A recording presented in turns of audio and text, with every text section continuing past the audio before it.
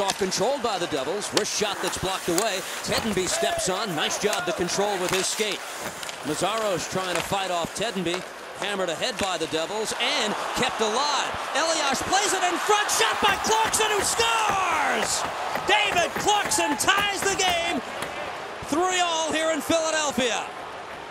Well, this line just put together. Pete DeBoers, you got to have some gut feelings at times, and he puts Elias out there with a quick Tedenby and B and David Clarkson. How about David Clarkson? The backhand of his stick is working very well for him. But watch this play here by Elias to keep this puck in. Right coming up there. He steals a puck, and look at Clarkson again on his backhand, just like last night against Toronto, almost the same spot. You know, David was smart there. He had a feeling that Bobrovsky would poke check because he had his back to the goalie, and, and players know, okay, he's, he's going to try and surprise me.